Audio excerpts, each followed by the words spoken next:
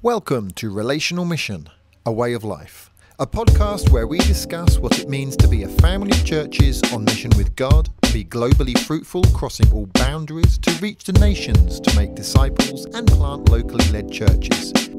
This is the second series exploring how to be a Word and Spirit church.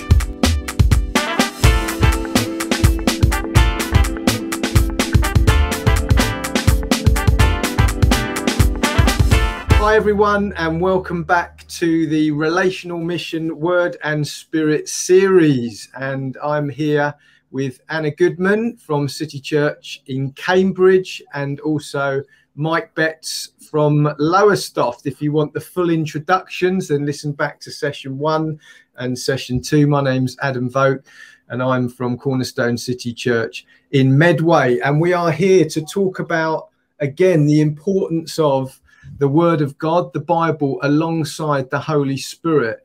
And this is something which we might presume, or many might, that everyone knows they're both important, but not necessarily. Mike, why don't you give us a quick reminder of why we want to focus on these two very important values and truths? Well, yeah, hello everybody. Good to be back with you. I think we wanted to do a, a podcast series that just explored these two themes because sometimes it can seem as if in the Christian world, particularly particularly in the West, I wouldn't say it's necessarily true globally, but particularly in the West where where we are most familiar, um, there can be in some churches an emphasis on the Word of God.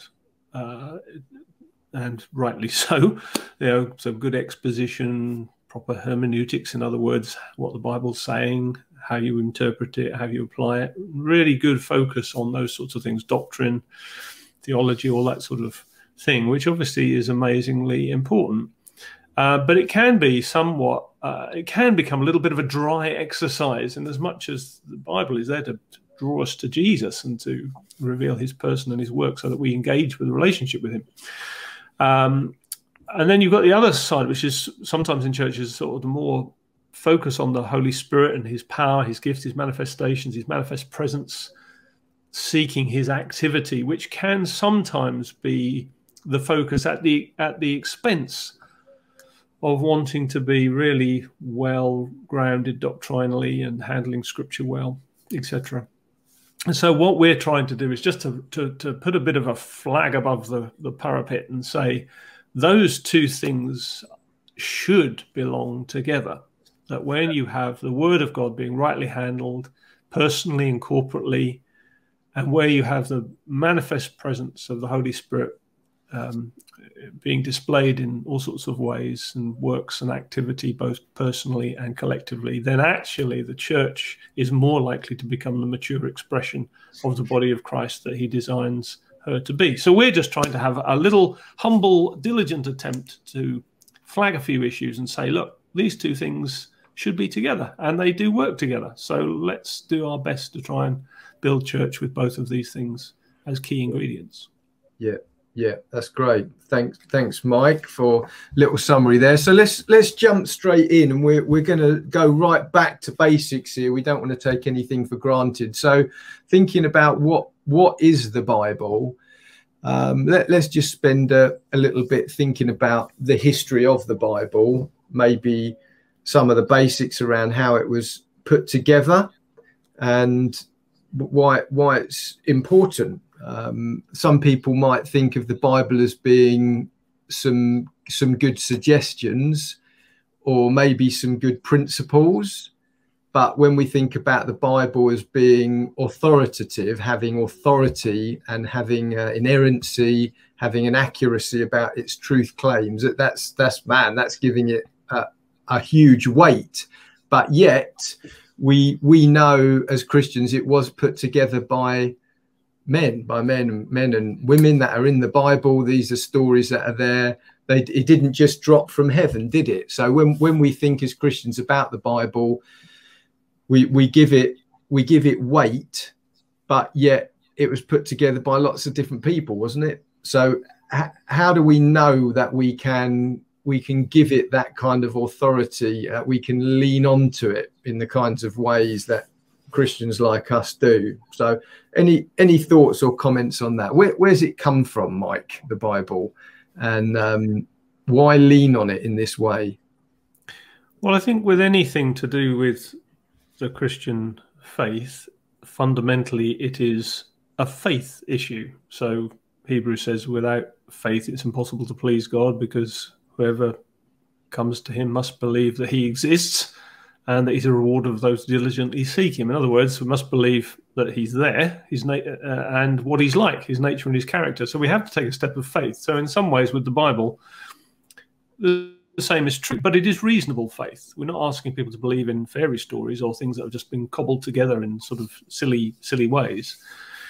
So it's a 66 books, uh, separate pieces of writing, different kinds of literature, from poetry, wisdom, narrative, uh, apocalyptic, which is a certain type of writing, prophecy, uh, you know, different kinds of writing by different authors over many, many years, all of which come together in a cohesive revelation of what God wants to say to us, which is enough to satisfy our faith, but not enough necessarily to satisfy our curiosity. Often the way I try to put it, and that our faith is is able to land on the writings of Scripture being a detailed, accurate revelation of what God is like, what His what He's done, who He is, and what He's done, and, and our belief and practice can be formed from that. As the Bible itself says of itself, you know, all Scripture is God breathed, yeah, and is useful for teaching, you know, correcting, training in righteousness. Now, it doesn't necessarily mean that those who wrote Scripture knew that they were writing Scripture. So when people, when the Gospel writers wrote the Gospels, they were just keeping, they were just doing, you know, doing a journal basically. And the fact that all those four different accounts, Matthew, Mark, Luke, and John, all come together in a in a in a remarkable cohesiveness, even though there's different aspects that they all focus on. Uh, I think in, in many ways um, heightens the um, the authenticity because it wasn't like a collective script. Let's all put our stories together and make sure they match. They, they weren't do, doing that. Yeah. And so the same when you look at every different section of scripture, it has an authenticity to it. It has a it has a, a, a robust uh, integrity to it that even when you hold it up to scrutiny, it, it, it, there's a cohesiveness to it. So I think there's there's there's that side of it. It's it's it's a cohesive written account over many years by different people in different situations concerning the work of God amongst man and who God says He is.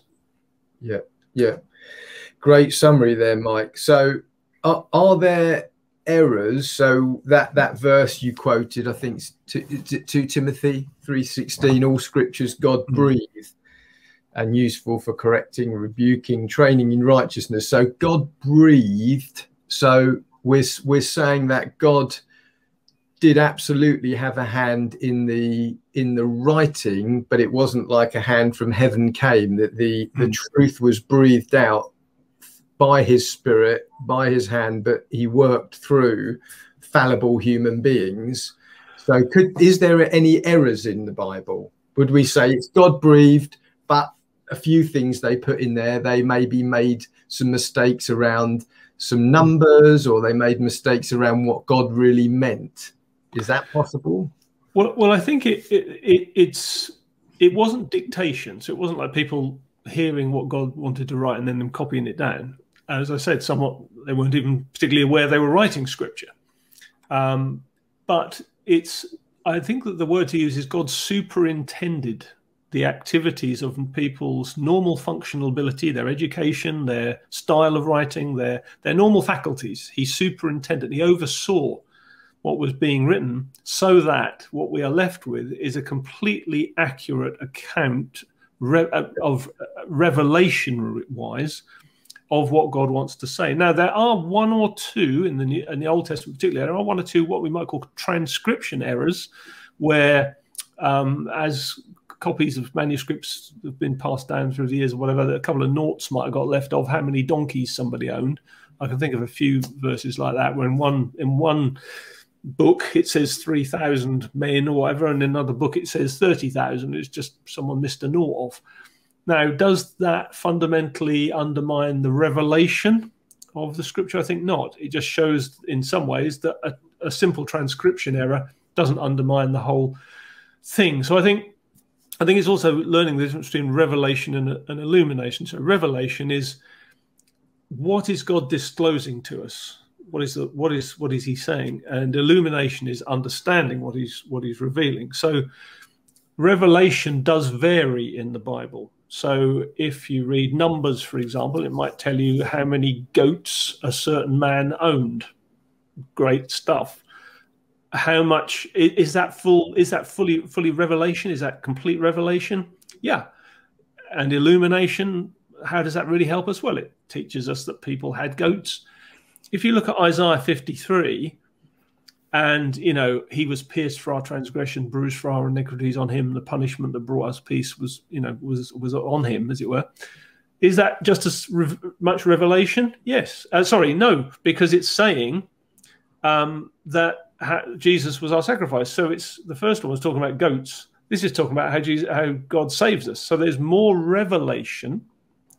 Uh, there's more things within it, but its authority is the is the same. It's it's authentic. It's it's not like one is more important than the other. The illumination that's being given in that scripture is greater in Isaiah than it is about the goats. There's just more more within the text, if that makes sense. So there's yeah. there's varying amounts of of uh, illumination and revelation, but it's all it's all it's all uh, God breathed, as it were. Yeah, yeah, yeah. That's that's helpful. So so that's that's superintending rather than people going into trances every time and and mm. sort of you know, auto writing as if they're not in control. Yeah. So very very very organic so it's like god is working in and through in a very personal way. He's not he's not taking over human bodies to do it and ne- neither is he leaving people just to their own you know. Write down what i told you last week. There's something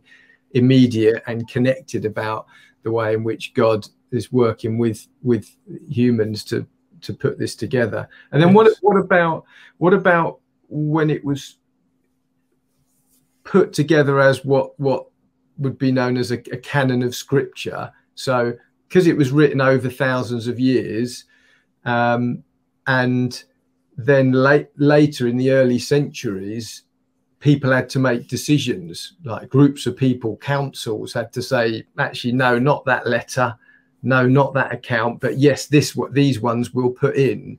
Are, are we saying that we believe that purpose as well was superintended by God? So there are other um, letters, books that some would say are in the Bible. For example, the Apocrypha um, has some other books, but we don't include that in our Bible. It doesn't have the same weight. So, it, got anyone got any comments on on that? The process of actually putting it together. Well, I can just make a slight adjustment to what I said before because I used a word that I wanted. I, I admitted a word that I want to just clarify. So, and this helps with this next question. So the inspiration of scripture is the same all the way through. So whether it's goats or whether it's Isaiah 53, the inspiration is the same. The revelation will vary in terms of how much is being told about God, just to make that clear. And then the illumination and the application obviously will be stronger to do with the crucifixion that will be to do with goats when it comes to things like you're now saying about the, the canon of scripture, I think the same thing would have been applied as as the people considering all the various texts that were flying around then, all the different manuscripts. They were looking for does does all this hang together as clearly inspired in the same way? Does it carry a cohesion of revelation? Does it carry a cohesion of message?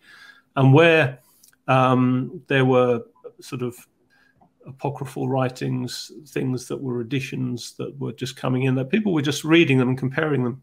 Just as, you know, Peter said uh, of some of Paul's writings, some of his letters contain things that are difficult to understand, which many people distort. So even then, scripture was being, you know, misused. So I think the various councils that met in the first few centuries of the church, they weren't they weren't sort of using they weren't trying to apply their own standard to it. They were trying to just read it and say, well, does this line up with this? Does this all hang together? And, and over many years, very diligent attempts uh, uh, at just being able to see the cohesion of scripture and then therefore the canonizing the, the the plumb line the read the rule bringing it all together and say does this match up does this match up and that's how we arrived at the scriptures as they are today and there is a remarkable um, cohesion that it all has. It, it, doesn't disagree with itself. It's it's yeah. beautifully harmonious, and I think that that's perhaps a comment I'd make there. Yeah, yeah, because I because I think there's there is quite a bit of historical sort of track you can look back on to see which, which scriptures were were already seen as being part of what became the canon. It wasn't like you know, in the first few hundred years, oh, you know, we've got all these things here. What what are we going to do here, boys? It was much more. They they were they were endorsing what historically had gone before. So obviously the old the Old Testament, we know, yes, that was seen as being the, the, the word of God, but the New Testament, well, that was written later, wasn't it? So when when when it says all scripture is God breathed, is that talking about the Old Testament or the New Testament? So, but there are ways in which you can sort of li- linked together. There are other passages, and history shows that New Testament letters and things were where they started to be given the same kind of authority as Old Testament books of the Bible as well. So it is that I suppose it's it's worth people knowing, you know, if they're watching this and they've not done Bible, lots of Bible history analysis, that if you want to go and look uh, it's there. There's a there's a strong record, and it isn't just randomly put together. There's lot there's lots of thought that's gone on into it. Uh, lots of different generations that have passed on the letters and the documents and uh, and given them weight and authority. Anna, it'd be good to good to bring you in at this point and um, just to sort of hear from you. So we we've been thinking about the the authority of the Bible about it being being God breathed. Just wondering if you've got any thoughts on that from your your experience really of, of coming to Christ, which we heard a bit about in the first session, and um, just being filled with the Holy Spirit. But what about this thing of the Bible?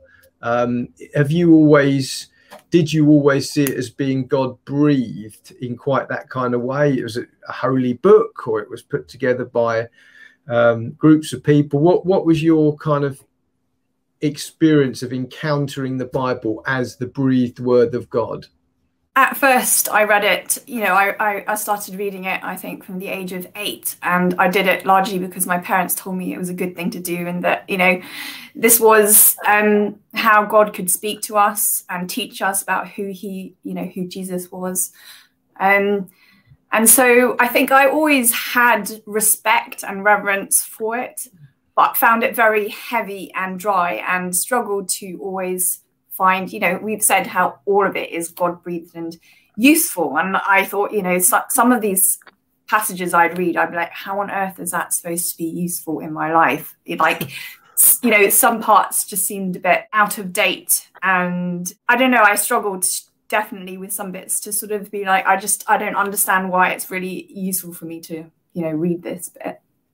Um, so increasingly over the years, I've I've realised that a lot of the time I need to take a step back. That I've got too immersed in detail and sort of chewing over the detail that I really I've missed the big picture, the point of um, the passage that I'm reading, and so I found, you know, commentaries and um, Bible Project. I really am a big fan of Bible Project, but that they've just sort of helped me to understand why, you know, what was the purpose of having that, what was the point of the the passage that I'm reading, that kind of thing. So I think as I've read it repeatedly as well, it's like I've had a new, fresh, you know, revelation of, you know, what what it is I'm reading, why it is so weighty, why it is so meaningful. But, you know, as we said, you know, it's so important that we do that with the Spirit's help because otherwise it can be sometimes like reading a, you know, telephone book at some point. Um, if, if there's no, you know, Holy Spirit bringing it alive and explaining it to us. I read a really good quote recently. Here we go. It's Andrew Jukes. He's written in The Law of Offerings. He says, The scripture is a key to itself. Besides, we have the Holy Spirit to open it up to us. God is his own interpreter. We fail to understand scriptures because we seldom accept his help. This, I feel assured, is the reason why we are so often in ignorance. It is not that the truth sought for is not in the word, but that through lack of communion with him who gave the word, we have not enough of his mind to apprehend his meaning, even when he has fully expressed it. So I find that really helpful because for me, when I uh, was, you know, in the first session, I think we talked about being filled with um, the Spirit, our own experiences. That's something that changed. So I went from believing this was the Word of God um, in in my head kind of way to when I was filled with the Spirit, sort of just um, just knowing it and experiencing it and it becoming alive in my heart. And you know, I would read Scripture and it would like elements would pop out to me. So I think back to your original question of, you know, um, did I always consider it to be sort of the weightiness and the truth of God and uh, the inspired word of God? I think um, yes, I did, but it's it's come alive and become weightier and more a part of me in a way um, that has grown over the years as I continue to read it, but while you know, asking the Holy Spirit to sort of help bring it alive to me and help me to understand the bits that I don't understand. Yeah, yeah, hmm. Yeah. I think that's maybe the sobering truth is that the Bible can be really hard to understand, even though it's God breathed, and even though, as you as you you've said that God's there to help us with it. So, have we got any comments on that? Because the Bible can seem intimidating, particularly for new new Christians. W- where do you start? What on earth does that mean? You know, it's pe- people say things like, "Well, I I, I only read the New Testament," um, or "I I don't read Paul, the Apostle Paul because." it's complicated and he seems a bit harsh. I certainly don't, I've never read the book of Leviticus and I don't know what relevance that's got today. So how do we how do we get through that that seeming tension where it's like, well, it's the Bible's for everybody and God's there to help you, but yet it's really hard to understand it and apply it. Uh, what what where does one start with that? Well, I, I, think there are lots of you know, it's like anything we we even the scripture talks about us being um, spiritual children needing to to leave elementary things and grow up in all things unto him sort of thing so there is a there is a sense in which you do grow as a christian. And as in as you grow naturally you also grow spiritually. And so i think to start with what what might be called the milk of the word what might be start with the, the main and the plain as it were. Um, certainly when i became a christian just uh, I was very helped by the navigators. Uh, I used to do a lot of uh, using their topical memory verse stuff and some books by um, I think it was Warren and Ruth Myers where it was understanding God's attributes and understanding God's character. And I remember going through those very very soon after I was saved and filled with the spirit. And I became fascinated with everything that God had promised and everything that was true about him. So I just found myself sort of reading verses a little bit in isolation, uh, so a little bit topical. So, you know, they'd probably say, here's a section on God's goodness, and they give a whole list of scriptures. And then I would go through those scriptures, perhaps even just one a day. And some of them would be little verses, some would be sections. And then I would learn how to, what they taught in the book, how to meditate on scripture. And meditating on scripture is not about emptying your mind so that you just sit there with a blank sort of thing waiting for the Holy Spirit to do something meditating on scripture is thinking through very carefully every word, every phrase. What does this say about God? What does it tell me about me? Is there a promise here? Some of the things that are becoming popular now in what's called Discovery Bible Study, that sort of collective way of meditating on scripture. I think it's really helpful to learn how to do that. What just read it prayerfully, read it with the Spirit, read it with the Holy Spirit sort of helping, and then He'll bring illumination. What I found was the Holy Spirit would illuminate things to me that perhaps were relevant for that day or relevant for where I was in my life or relevant for something he wanted to say to me. And I, I just jot it down. I just journal it. I didn't call it journaling then. I just wrote it on a spiral notepad. But then it became it became more flashy, and you called it journaling. Um, but it, basically, it was just writing down what you felt God was saying to you. I used to write it on post-it notes, and sometimes take them into work and put them in my locker door. I'd stick them on the door. Yeah, you, there you go. Anna's got some there. Um, and uh, I would just write down a verse or something that God had said.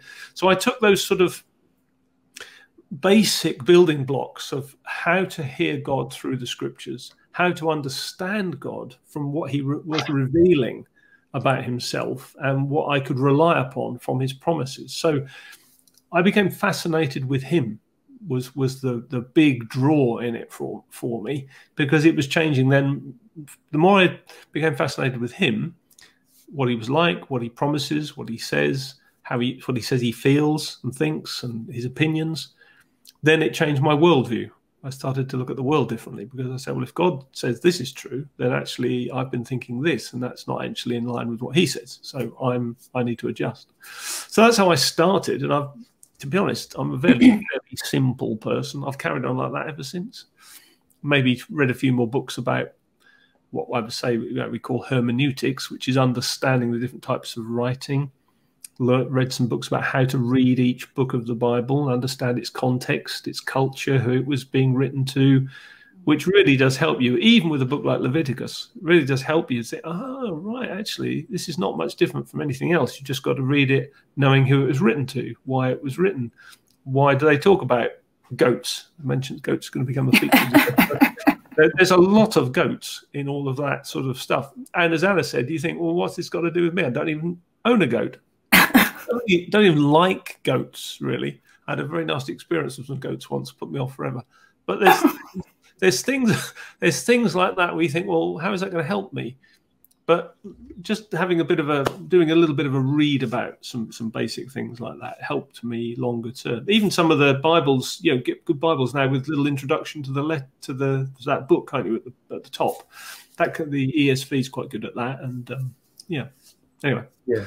Yeah so there's there's a number of helpful resources there. So we've we've mentioned commentaries which are sort of specific overviews of different books uh, written by those that are a bit more expert in language and things. Yeah, great example there. It's a heavyweight series. Then there's what's um, that series that you just held up for those who are listening rather than just viewing? Gordon Wenham. Oh yeah, word, yeah, word biblical commentary. That was a Gordon Wenham one on Genesis. Yeah. Um, then Mike had mentioned the navigators, so you can look them up online. They've got lots of resources around things like Bible um, memorization, which is something I remember doing when I I came back to God when I after I was backslidden. In fact, they're on my desk here. Um, and this was I think this was my my dad's original pack. This oh, is yeah, a, I've got one of those. Um, like a this is yeah real leather here. trying to see whether it trying to see whether it says real goat skin. Oh. Well, that's the only yeah. good thing to do with a goat, as far as I'm concerned. yeah. Make no, it into no, a pochette. This is actually it says real pig skin. I kid you oh. not. Yeah, look at that. Goodness. Nice. And then inside, so there's lots of little cards um, which have different verses on, and they're all categorized in hmm. different series. Like D11, this is Be Christ's Disciple series, and then there's a different verse that will relate to a different aspect, and then you can learn who you are in Christ. So they're they're they're, they're useful and still available. Um, although I don't think you get the the pigskin um, little holder anymore. You probably get a plastic one or something horrible like yeah, that. Yeah. Um, was so a good book. It was a good book I read years ago by Campbell McAlpine. Uh, how to meditate on the scriptures, uh, and and he, he, if you can get hold of that, that's a brilliant, brilliant yeah. little book. Uh, simple, yeah. Yeah. Yeah, I've come across that one. And then you mentioned another couple of books. I don't know if you mentioned them, but there's one called um, How to Read the Bible for mm. All Its Worth. Yeah, is that, superb. Is that yeah. Gordon? That's Gordon Fee oh, and oh gosh, can't remember. Stuart and Fee or something like that. Yes, Stuart and Fee. Stuart yeah. and Fee, yeah. So that that's a good one to show you how to read different books, isn't yes, it? It's sort of absolutely. like a diff, you have to read different books in a different way. You can't read the, the prophetic literature in the Old Testament the same as you would read a letter from Paul. You mm. have to apply different like lenses, as it were, and you you wouldn't necessarily take things quite so directly from one of the prophetic books in the Old Testament, but anyway, it sort of talks you through some of the things that when you read, I remember reading that book and thinking, oh yeah, that's true. I'd never thought of it like that, and that's that's why I keep hitting this same question um because i think one of the things that we can do and maybe we can pause here for a bit is that that if if someone's reading the bible and they're reading an old testament book could be a prophet could be the book of deuteronomy and then they flick and they might read the book of ephesians particularly the the last three chapters of ephesians which are all very kind of directive and practical. And and we can easily make the mistake of taking commands equally, but we need to be careful that we're not taking something that's just said in the Old Testament as applying immediately to us in the same way as a New Testament letter might, um, which is why I think these these books are so helpful. But what would you say around that to people who say, "Well, I'm not really." I'm not really a Bible scholar or a theologian, almost as if that lets you off the hook I leave that up to the church leaders. I just sort of open my Bible and, you know, ah, oh, this is the bit I'll read today. I just take it directly. Um, any, mm. any comments on that sort of approach to the Bible?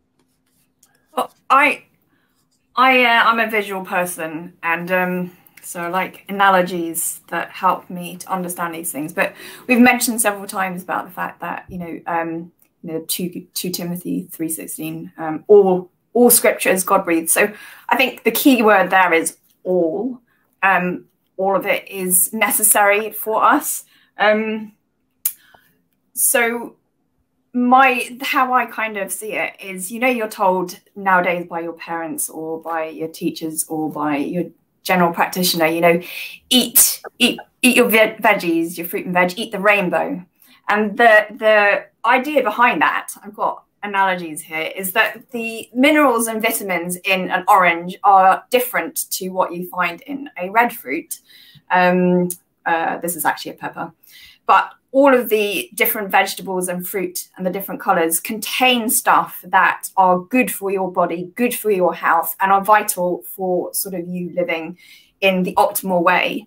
Um, it would not be good if I only ate just red peppers. It would not be good if I only ate just spinach or um, broccoli the the whole point is you know you need to eat the rainbow you need to eat all of it. And so i see scripture a bit like that in that all of it is good for me all of it is necessary all of it should be chewed on and digested and assimilated because um, god's given it to me and it's for my own spiritual health. So i think you know people who think that it's okay just to eat Psalms or don't sort of consistently read the whole Bible are basically missing out. Sort of the, to use the fruit and veg analogy, they're missing out on some vitamins that are really good for their health. So I would just encourage them. I mean, I I'm I need a plan. So I like using something like, you know, there's loads of apps out there that are really helpful that sort of take you uh, through the Bible in a year. But if that's too much, you could do Bible in two years. But it just makes sure that you are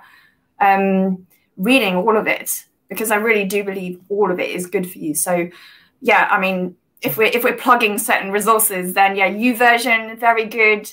Um, Bible Project also does videos, yeah, so you've got the the pictures. Yeah. Also, you know what you said, Adam, about sort of setting context. You know, what is the book you're about to read? How should you read it?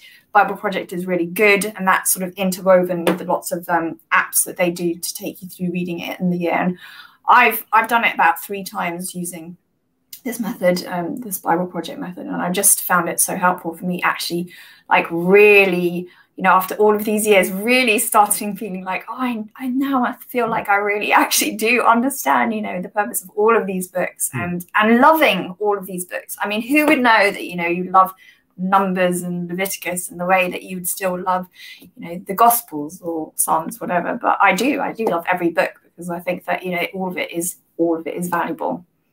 Can I ask a question, Anna? Just because I know your your background is in neuroscience, so mm. you know, in some ways, you know, how people think, the way the brain functions, and all the connect interconnectivity with the rest of us. And I, have read information recently. I think you've even sort of tweeted it, or you, you put stuff out there saying that there's some theories saying that the way um, modern life is developing actually does affect the way people learn or receive information or process information or are, are help to learn or I don't know apply things in their lives in different ways.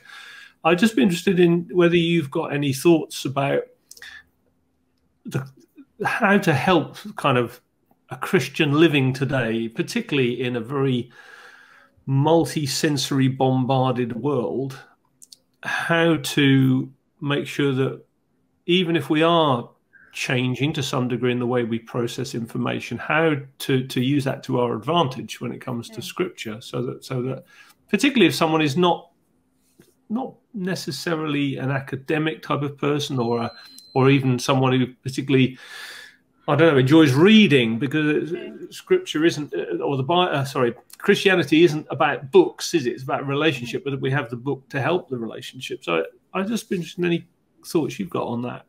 Mm, good question. Yeah, I mean, I think what they're saying now is that your your so you've got your left side of the brain, which is more analytical. Right side, I mean, this is a real oversimplification of it all, but the right side is more artistic.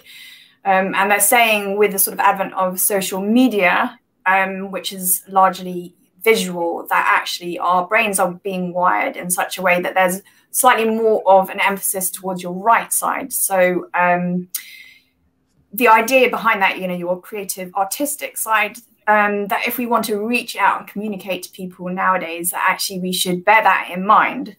Um, and so, I mean, that would that would include things like poetry and visual illustrations. Um, mm movies, YouTube, um, listening as well. I mean, there's um, I think we mentioned before that David Suchet does, you know, mm. reads the whole Bible.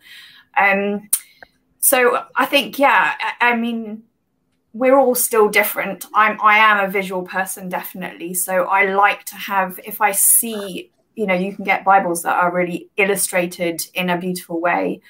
Um, and again, Bible Project does all of these illustrated illustrated versions of um, the books. So I would say um, just engage all of your senses um, because actually one of the best ways of learning is by using all of your senses and engaging your whole body. So reading, reading the words, speaking the words out loud. Um, that's another thing that helps you to sort of remember what you're reading mm. um, once you've spoken it. Um, hearing it as well, listening to what other people, um, what other people are saying, or also hearing your own words um, and you know drawing illustrations to help you to, to illustrate you you can get wonderful journaling bibles um, with wide margins where you can actually um, draw and illustrate what you're uh, reading. So i think it's part of it is knowing yourself um, and knowing how you learn best knowing how you engage with things in a way that um, excites you and stimulates you um, you know they're even coloring in books uh, bibles if you're into that coloring in your bible verses that you want to memorize. Uh, i would just say be be creative in uh, the way that you go about reading scripture because it doesn't have to be um, you know really really dry. I'm i love the inductive i think i mentioned this before the inductive study bible. So this is just i don't know if you can see this properly.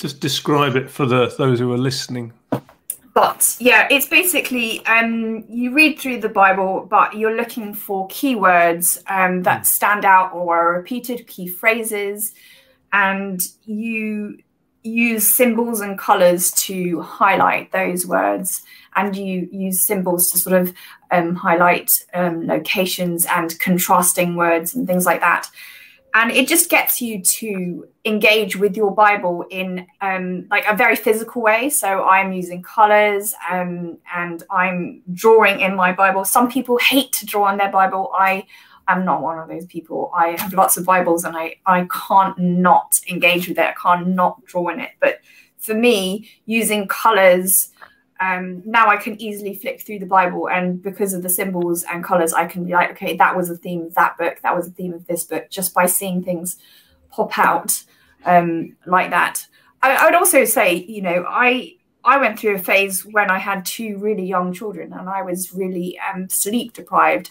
But I just felt like I struggled really hard to read my Bible because I'd had like two hours sleep every night, and I'd um, my brain was just so foggy. And what really saved me there was reading children's Bible to my kids.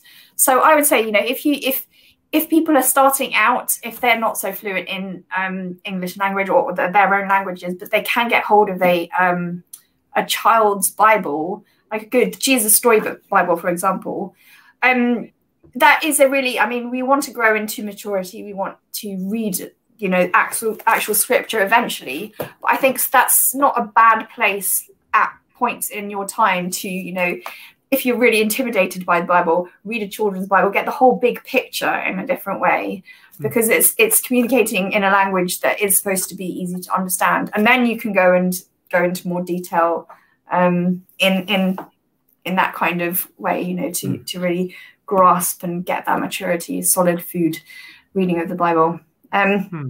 I also have another analogy. If you like my analogies, I'm, I'm up for my yeah, props today. Um, but you, you mentioned meditating, and I think one of the things that they're saying people nowadays, especially sort of the younger generations that are coming up, is because of the overstimulation, they're really struggling to focus and to hone in their um, their mind on one particular thing because it's like you know they've got all of these tabs going on in their head and they can't focus, they can't meditate.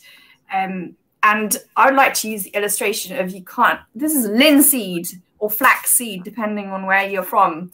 And it's it's an amazing, it's an amazing seed. It's really good. So full of fiber, you know, omega-3 um, fatty acids. It's really, really good for you. Um, but you need to chew on it really, really well. Otherwise, it just passes straight through you.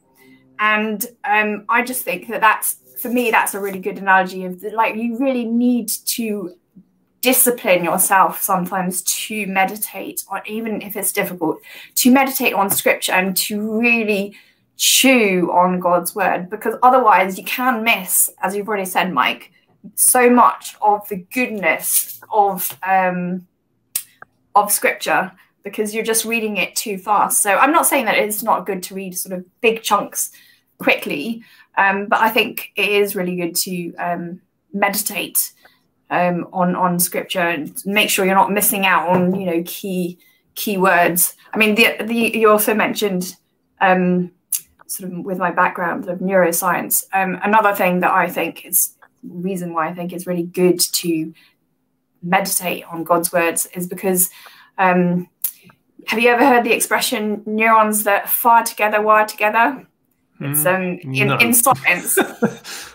Maybe that's just the world that I'm living in. But basically your your brain is um they use the word plastic. It's obviously not plastic, but that it's malleable. it, it, it's not this rigid structure that like once you hit a certain age that's it that's your brain it's it's like concrete you know your that's that's how you're formed and you're going to think. It's constantly um, being rewired and it's constantly changing. And you know you when you meditate you're having a certain thought pattern. So if i'm reading meditating on scripture i'm i'm thinking about the words of god. And thoughts are made up of sort of different neurons wiring together, firing and setting um, each other off. And the more you have a certain thought, the stronger that connection um, takes place um, and and and shapes the way that your brain is wired. And the when the opposite is true. So when you don't have certain thoughts, connections become weaker. So I love that because that sort of backs up what scripture says. You know, be be um renew be transformed by the renewing of your mind. Take captive every thought make it obedient to christ. You can have the mind of christ we're told. Um we do have the mind of christ. And we do that by meditating on scripture because as we have god's thoughts and we meditate um, on his word, his inspired word, we're actually neurologically shaping the way that our, you know, nerves in our brain are are firing and um, are patterned together. So I, I love that. So that's why I, I love the navigators memorizing verses because you're actually, as you're doing that and having these repeated thoughts over and over again, you are wiring your brain and you are having the mind of Christ by reading the inspired word of God. I'll stop that's talking brilliant. now. Sorry. That's that brilliant. Good. Yeah. Yeah, that's that's helpful. I think just to be reminded again the way God knows how we're made. He made us, and so He's not He's not working in a way which is sort of separate from our natural processes. He's working in the in the midst of of brains uh, as well as hearts and the, the sort of hidden parts of us by the Spirit. Because um, I think sometimes we can maybe over super spiritualize it, you know, like it's this sort of magic book, and you read it and you wait for this revelation or illumination to hit you when actually God's wanting to work through our brains and through thinking and planning and writing things down and remembering. So it's very uh, integrated, which was one of the things I was thinking about because you could you could read or study the Bible um, as theology. Theology is is about the study of God.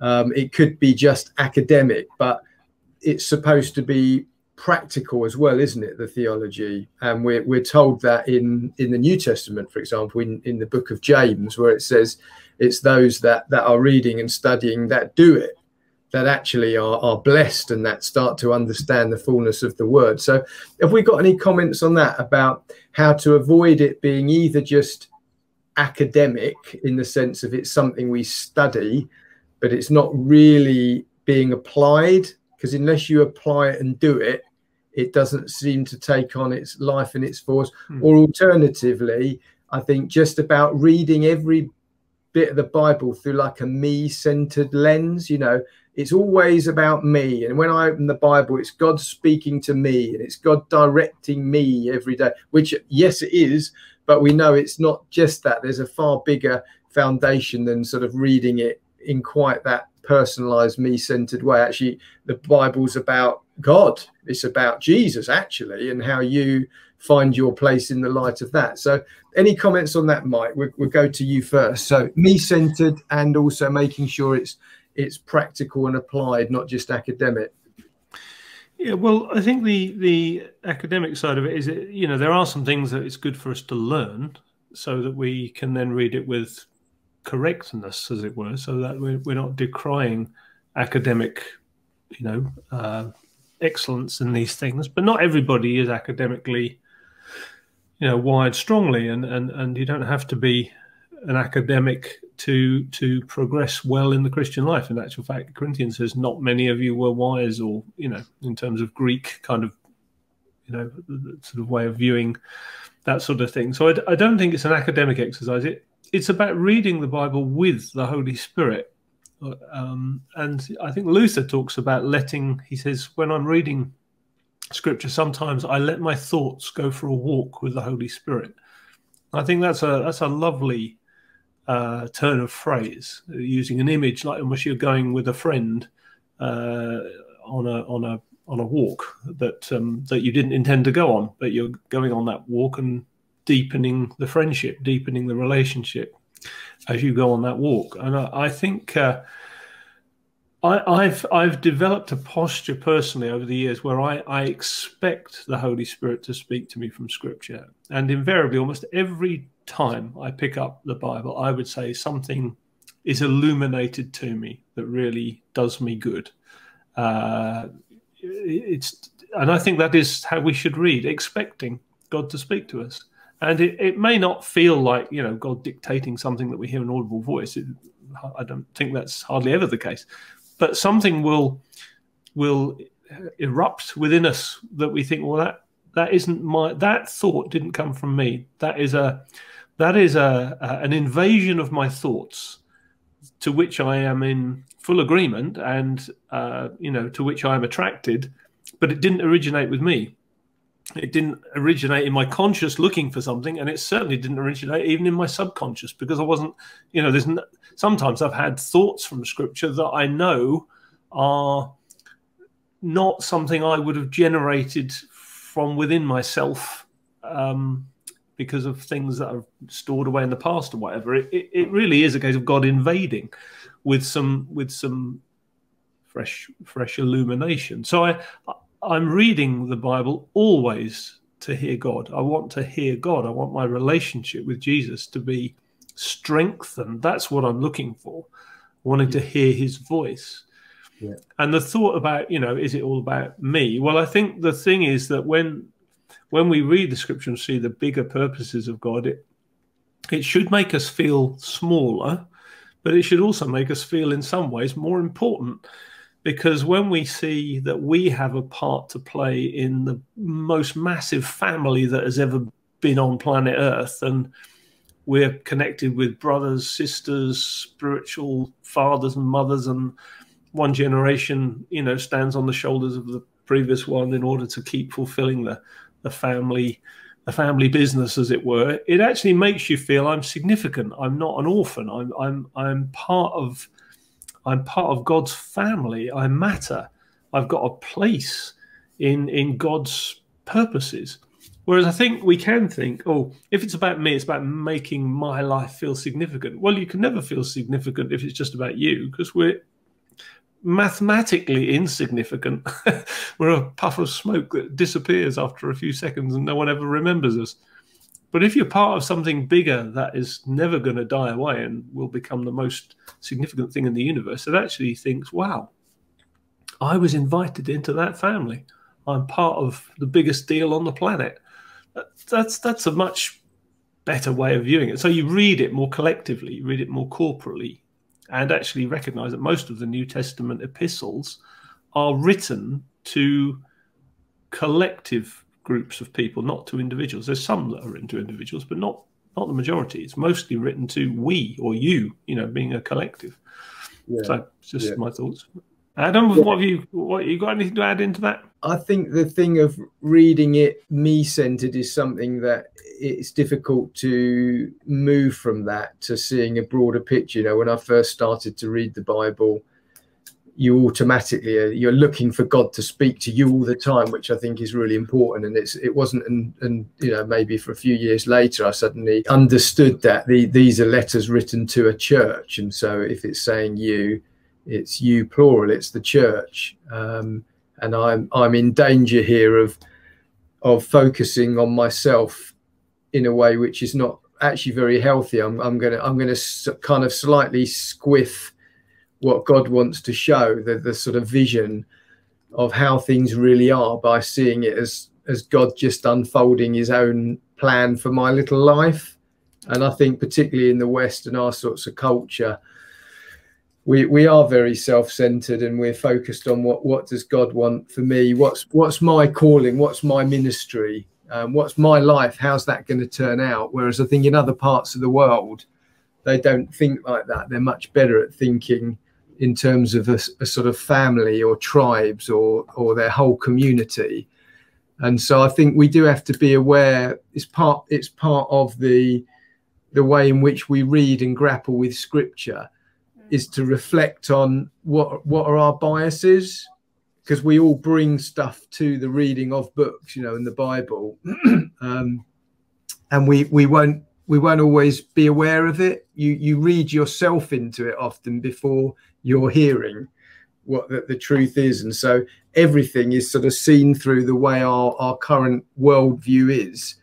Um, and we just have to be aware of it. You can't always correct that, but I think that's why having other books and commentaries, talking to other people, do, doing Bible reading in community with others. So it isn't just a, a, a book you're reading on your own as part of your own quiet time or devotional time. It's supposed to be done together. We have to learn from others. We have to learn from history, church history. We have to we have to allow the authority of the Bible that we've touched on to to shape us, to mold us so that we're not reading into it. So it does require humility because you can you can read something or, or have a certain view for 20 years and then suddenly you think, actually, I'm not sure that was true. You know, I've I've completely misunderstood something. I haven't seen the full orb of it. And praise God that He's so gracious and patient that He's not always, you know, wagging the finger when we misconstrue something. So I think reading the Bible is a humbling experience. Hmm. Um, and, it, and it does shape you and mold you. And as Anna said, you know, literally, it's it's like it's rewiring our brains. So that's hmm. something that I've certainly been aware of in in my own life. What what about the times marching on? We got a few more minutes, but what what about the understanding? Of the Bible when it comes to different translations. So we, we've we've touched on the hard work of reading the Bible. We've touched on recognizing it's God breathed and that God's stewarding the putting together of the Bible. But nonetheless, even with that, there's lots of different Bibles people can buy online or in shops, lots of different translations. Some people won't know where to start because there's so many different designs as well. Um, are they all saying the same thing? Does it really matter? Some of them are trying to put it in modern day language. Um, other people say you should read really traditional versions like the King James Version because it's more accurate and so on. So, is there a Bible that we should all read? And surely, if we really want to be accurate, we should be learning Greek and Hebrew and Aramaic and read it direct from the source, shouldn't we? So, how do we know? And does it matter what kind of Bible I'm reading? Hmm. Well, I think that, there's and often a picture is used of a, like a pendulum of different uh, sort of there's a sort of pendulum on one, one end of the scale, which is sort of the really word for word translation, which might come over slightly clunky or wooden in, in a sort of transferring it from sort of um, Aramaic, say, into English or Hebrew into English or whatever. It might come over not the, the words don't flow so easily, but I think to have in in your possession uh, fundamentally a, a, a, version that's uh, to that end of the spectrum is is good. So I mean, I use the ESV, English Standard Version. I mean, New American Standard Version is good.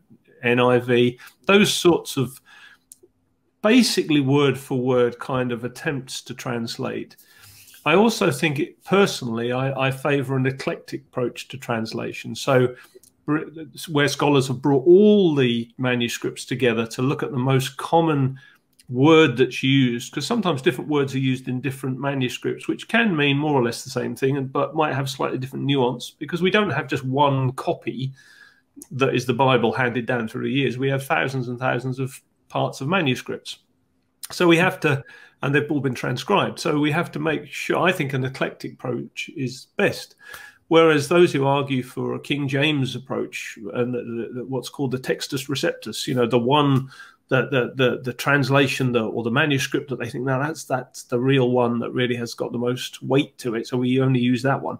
I think that can be a little narrow, and I don't think it affects the accuracy of Scripture to bring all the different texts together to look at the most common and the most um, uh, frequently used word that different manuscripts have used uh, on, on, certain certain translation issues.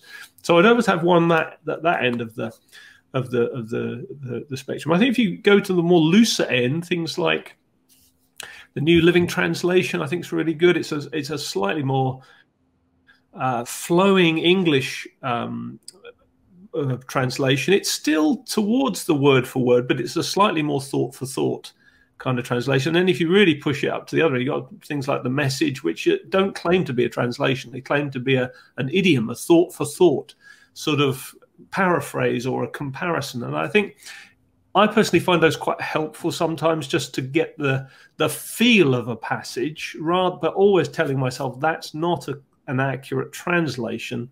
That's a paraphrasing in my language of the general thoughts that are being communicated by the detailed world word for word analysis. Um, so do we lose do we lose divine inspiration the further down the scale we've gone. So if, if it's in the original language and it was literally done word for word it would it would not read very well would it? Because tr translating a hebrew word into an english mm. word and the, the sentence structure would be all wrong. So we're saying that yeah if, if you can if you can read an original language and you get into that world then you're it, it's it's almost like it's a kind of a not not more pure but you've got to re- read in the original language if you can, but for 99% of people, that's not the case. So it's mm. okay to use a translation, but they do get diluted. Well, they get they language is a is a is a a moving thing anyway, isn't it? It's uh, is words mean different things at different times. So sometimes the the translation issues that scholars, Bible translators wrestle with are not so much, well, what does this mean? It's like, what did that mean? What did that word mean when it was written?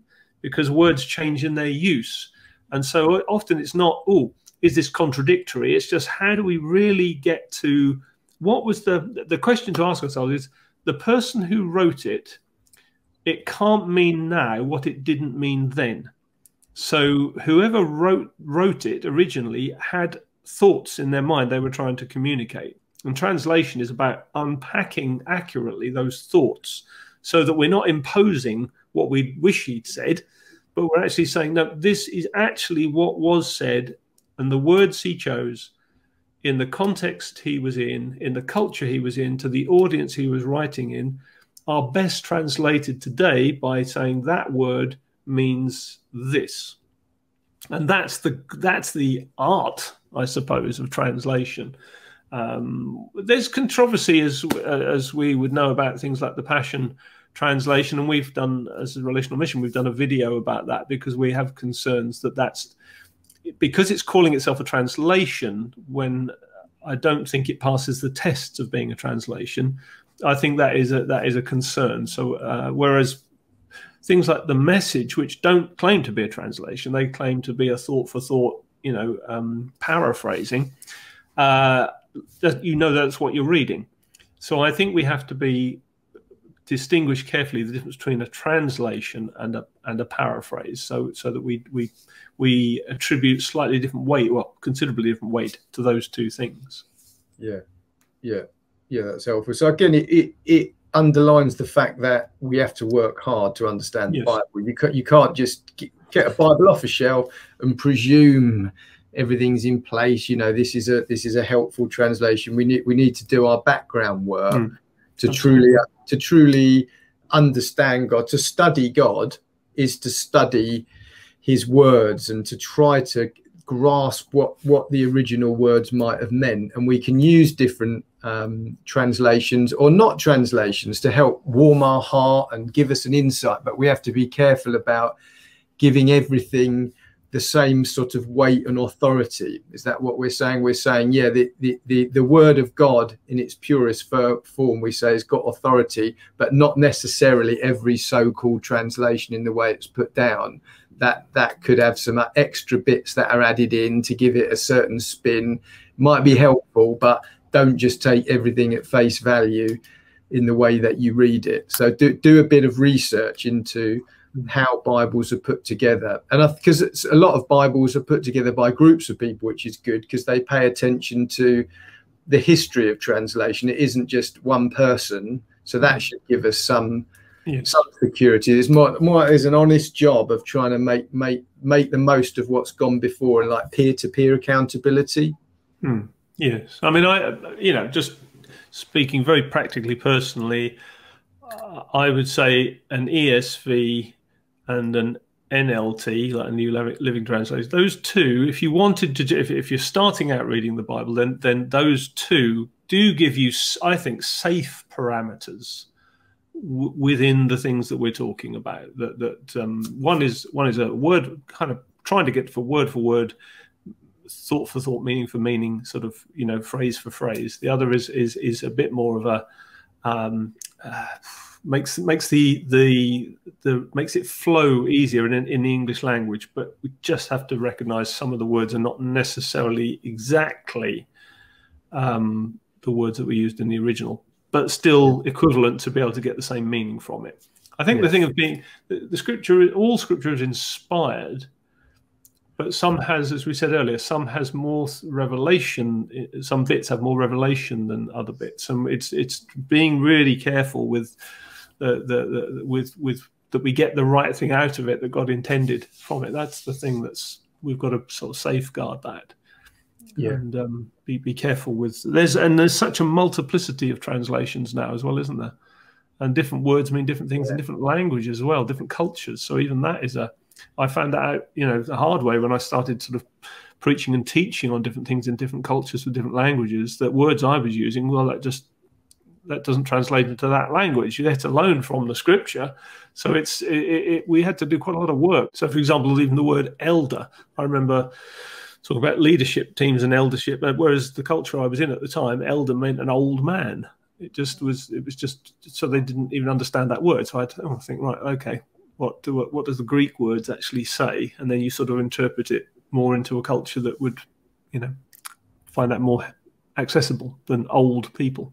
Well, we've covered a lot of ground, and mm. um, it, well, I think we could do a sort of separate series just on this. Really, my brain's thinking all kinds of things we could go off into. So maybe just in closing, we we could all give our own personal encouragement to those listening in terms of reading the Bible. Um, if people are thinking, where where do I start? Or I've grown a bit weary.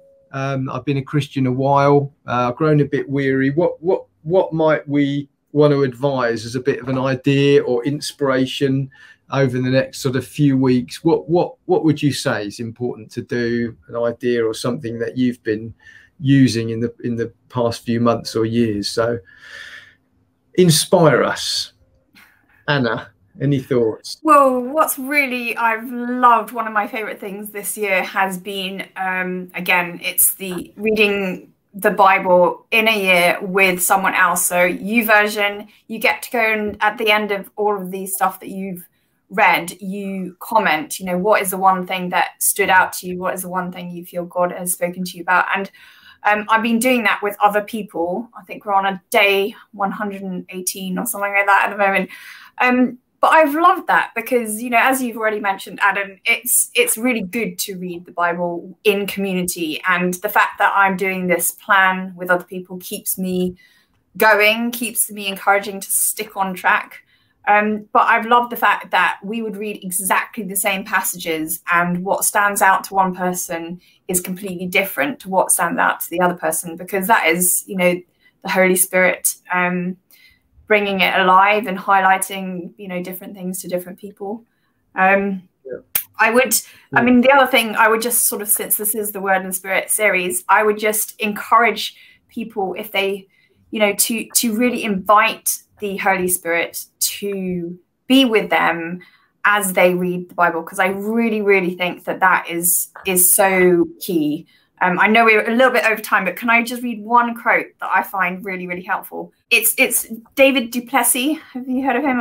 It's mm-hmm. written Duplessis, but I think you pronounce it Duplessis. And he was asked by all of these teachers who were, were not charismatic of different um, leaders of different churches, you know, why is it that you've seen so much growth? And so that he was invited to speak to them. And this is one question they asked him. They said, please tell us what is the difference between you and us? we quote the, the same scriptures as you do, and yet when you say those words, they sound so different. We say the same things that you do, but there seems to be a deeper implication in what you say. You have said nothing with which we want to differ, and yet there seems to be a distinct difference somehow.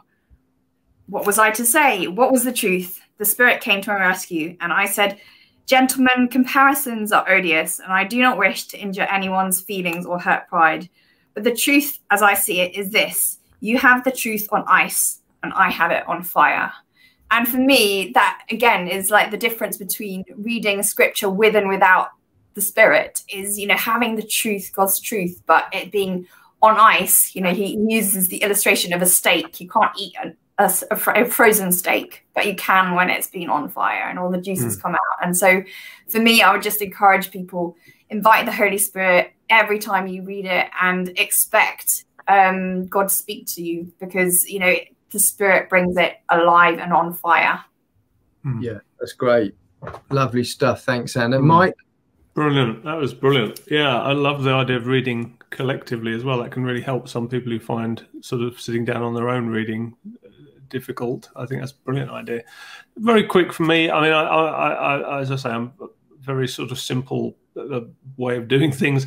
I like to give myself a nice Moleskine, other brands are available, but I like a nice Moleskine journal and a nice good ESV Bible, and I just work my way through sometimes very, very small portions of scripture. It can be just a verse. So at the moment, I'm just reading the Ten Commandments. I'm just doing one a day, you know. Uh, and up until then, I was reading a chapter a day of the rest of Exodus, and then I got to that, and I just felt the Holy Spirit say, just go through these one at a time and think about them and uh, know, just again, God, I felt God speak to me, illuminate that to me. So, and then I'll just write down what I get out of it, what I think God's saying to me, that sort of thing. I'll just make sure I write something every day, just externally process what I think God said. It doesn't have to be right; it's just what I'm feeling, and uh, then I'll think about it, pray about it, and perhaps carry it with me through the day. Sometimes think, is there something God wants me to do with this information in other different contexts I'm in? Is it prophetic? Is it just personal?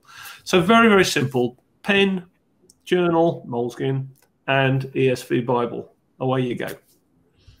Super stuff. It's great. Thanks, Mike. I should be sponsored by Moleskine. This this podcast should be sponsored by. That'd Moleskine. be nice. Yeah. Yeah yeah, well, if if you're listening, Moleskine, Moleskine people, yeah, give us give us a deal. Get in contact with us. Yeah. yeah, I think for me, something that I started doing a, a, few months back again, I did it before in the past, was to try to read through the Psalms and do a Psalm each day, in addition to the sort of regular bits of scripture as you guys have outlined, sort of reading through with a book and pen. So that that's my sort of style as well um, to try and jot down, yeah, what, what, what does this mean? What God's saying? What does it mean then? Uh, what's the bigger picture and context? I'm always thinking that through. What's what's the story underneath the story? What's this revealing about the character of God, um, and so on. But re- reading through the Psalms, I've been doing that, and I'm just back starting again now. I'm on Psalm Psalm two today, and again just reading them through at some pace to get through them sometimes but just to constantly have that worship uh, mindset in place. It was something i think i heard from tim keller who's an american pastor theologian that, that that's something he, he's been doing for years and years and years. And i thought yeah that, that's good because the, the psalms are a, a worship book. They're, they're poetry and worship and so good to take them and turn them into to prayers. So that's something I'd I'd recommend as well. Brilliant. Cool. Great. All right. Well, we should bring it into land then. It's been yeah. good chatting with you, Mike and Anna. And um, until next time, we will say our goodbyes. So thanks yeah. for all your comments. Thanks, viewers, for watching and listeners. If you're on podcast, do get in contact with us as well. If you've got any questions or, or comments, then there is an email. I haven't got it to hand to flash up, but I think it was uh, rm at podcast or something like that. We'll make sure it's on the links. We'll make sure it's on the links yeah. when this is actually published. We'll make sure it's down below on the link. So get in contact with us. So thank you all. Until next time, farewell. Yeah. See you next time. Bye. Bye bye.